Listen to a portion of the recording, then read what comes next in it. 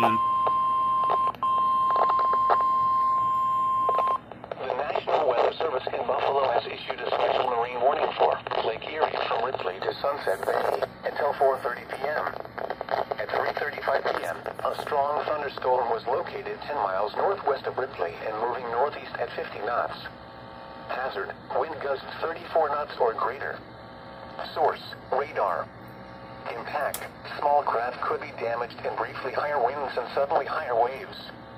Locations impacted include Van Buren Point, Barcelona, and Ripley. Move to safe harbor until hazardous weather passes.